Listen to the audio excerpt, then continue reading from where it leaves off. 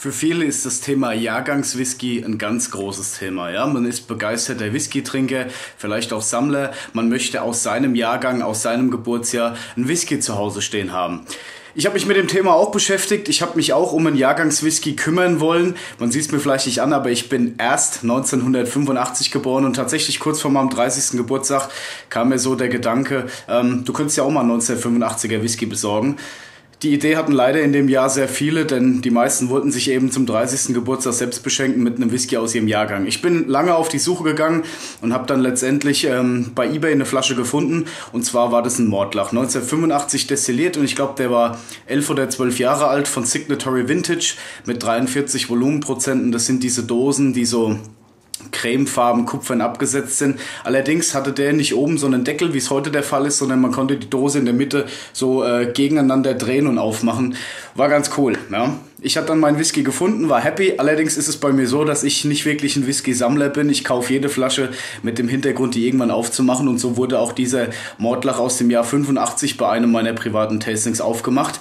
Am Ende wurde mir auch noch die Resteflasche, die Anbruchflasche abgeschwatzt. Die war dann weg. Keine Ahnung, wo die sich jetzt heute befindet.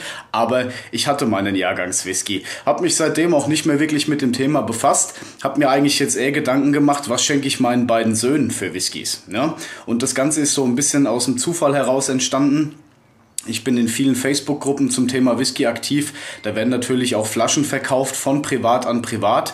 Und eines der Mitglieder einer Gruppe hat mal einen Kilhoman Loch Gorm verkauft. Das ist die schwarze Box, komplett in Sherryfässern gereift, zu einem absoluten Schnapperpreis. Und da muss ich zuschlagen. Ja, das war der hier. Zu Hause, als die Flasche äh, ankam per Post, habe ich dann natürlich geguckt, ob alles okay ist mit der Flasche. Ja, war alles okay, sogar Parafilm drum.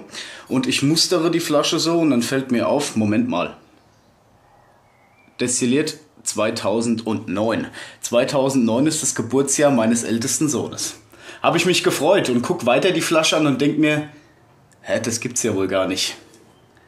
Wenn man sich jetzt die Buchstaben von Kilhoman anguckt, dann findet man da ein C, ein O, ein L, ein I und ein N. Mein ältester Sohn heißt Colin. Und wenn man das Ganze jetzt weiterspinnt, H, O, C, K, auch die Buchstaben des Nachnamens, Colin Hock, komplett hier drin vertreten im Etikett, sein Jahrgang perfekt. Da habe ich tatsächlich unbewusst seinen Jahrgangswhisky gefunden und er passt halt auch noch mit dem Namen. Hat mich dann aber vor ein Problem gestellt, denn ich habe noch einen zweiten Sohn, den Liam.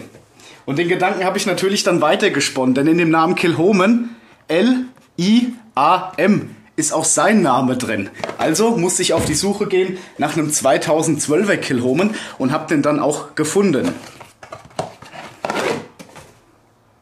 Hier kann man es lesen, Distilled 2012 das ist der Kilhoman Red Wine Cask Matured. Das ist dann von meinem kleinen Sohn, der Jahrgangswhisky.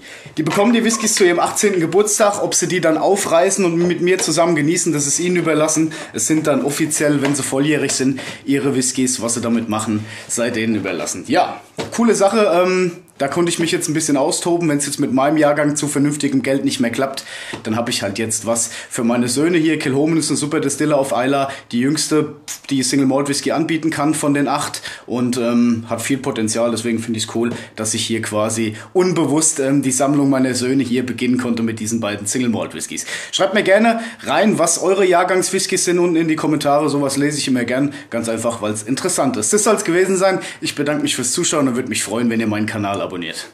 Haut rein.